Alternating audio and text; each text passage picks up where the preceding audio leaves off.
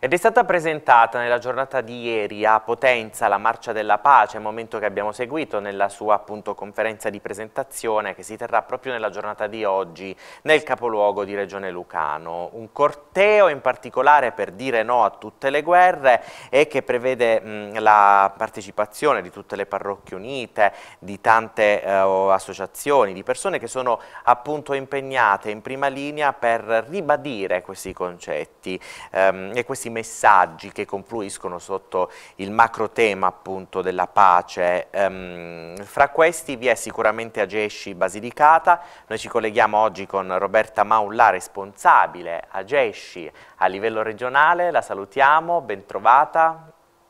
Buongiorno, buongiorno ecco, a tutti. Anche voi sarete in prima linea, parteciperete a questa marcia della pace, in che modo e perché avete deciso di aderirvi? Allora, questa Marcia della Pace nasce all'interno del laboratorio pace della, ehm, della parrocchia di Sant'Anna.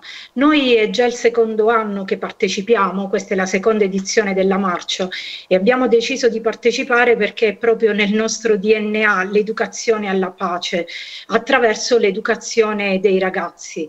Um, è una cosa insita in Agesci, per noi la pace passa attraverso la conoscenza, quindi la conoscenza dell'altro, tant'è che ogni anno la GESCI di tutto il mondo organizza un incontro che si chiama Gembori, proprio marmellata di persone, in, al, al, quale partecipano tutti i ragazzi, tutti gli scout provenienti da, da appunto tutto il mondo. Il prossimo Gembori sarà l'anno prossimo in Corea del Sud e dalla Basilicata abbiamo quattro persone persone che parteciperanno, quattro ragazzi, Gianluca Tucci e Davide Martulli di Matera e Giorgia Ricciardi e Stefano Coronato di Potenza.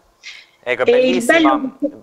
bellissimo questo momento e presumo che ci siano già in queste giornate gli entusiasmi diffusi tra chi parteciperà a questo appuntamento, ma nel vostro gruppo sicuramente. E come vi state preparando? Come si stanno preparando i ragazzi?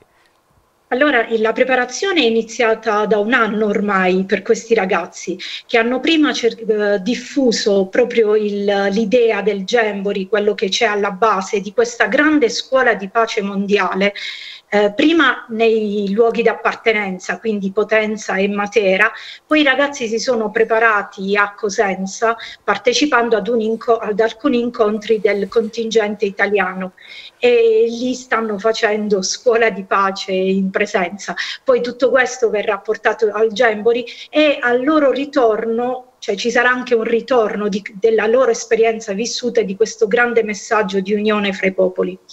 Ecco, è importante questo perché attraverso l'impegno di queste nuove generazioni si rinsaldano quei valori che appunto eh, parlano di pace, di rispetto eh, del prossimo, anche all'interno delle famiglie. È questa poi l'azione che si cerca di portare avanti.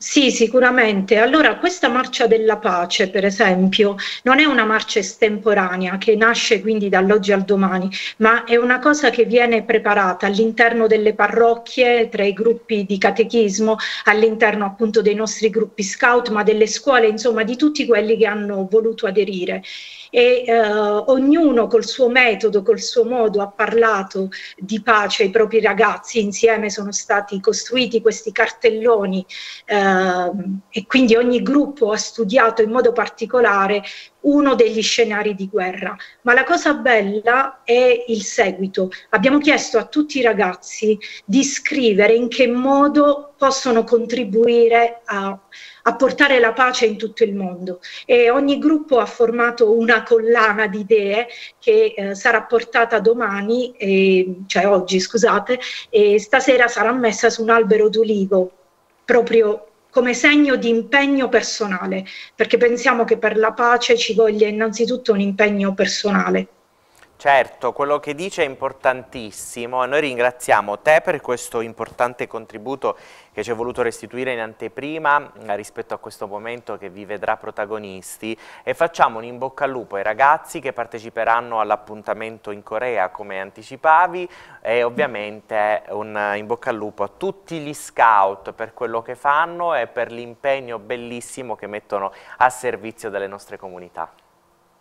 Grazie, grazie a voi. Grazie, a prestissimo. Ringraziamo Roberta Maulà, responsabile, come anticipavo, a Gesci Basilicata.